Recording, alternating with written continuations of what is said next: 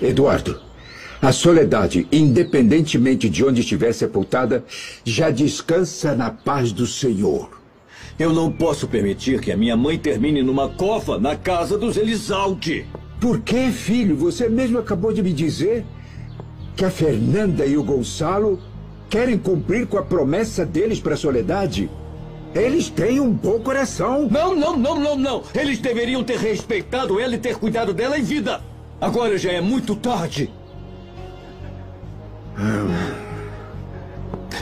Eu tenho que impedir que eles consigam, mesmo que eu tenha que terminar na cadeia.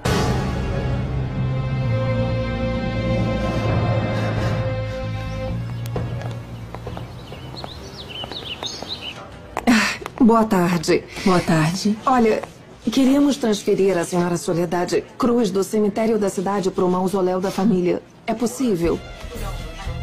Sim.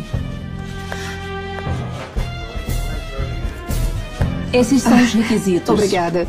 Identidade original, autorização da vigilância sanitária, cópia da certidão de óbito. Nossa, são tantos requisitos.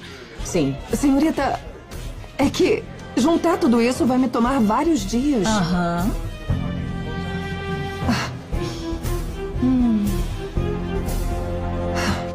Entenda, padre. O Aníbal o Camilo e a Bárbara Greco, em menor ou maior escala, acabaram com a dignidade da Soledade Cruz. Mas e agora? Também tenho que permitir que eles cuspam no túmulo da minha mãe? Ah, não é possível, padre. Por favor. Por favor, eu quero que ela fique no lugar digno dela. Eu quero poder chorar sem testemunhas indesejáveis. Filho, se seu espírito está inquieto, te ajudarei no que me pede, para que você também fique em paz. Quando quer que seja feito?